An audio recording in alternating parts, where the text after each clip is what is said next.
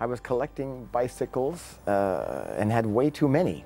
And I, I gave some away, not really philanthropically, just to make room so I could get more.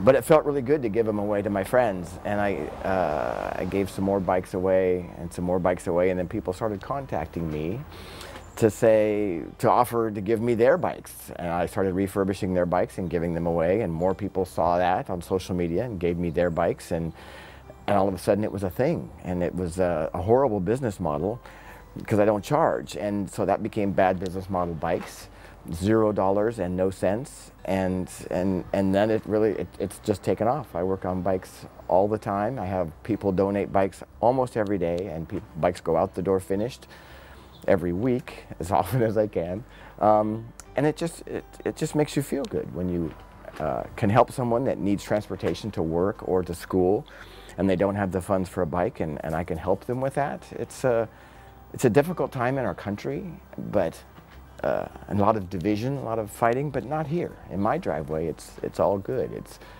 good people donate donate their bikes, and uh, happy people ride away, and I get to be part of all of that, and it's just a, a beautiful thing.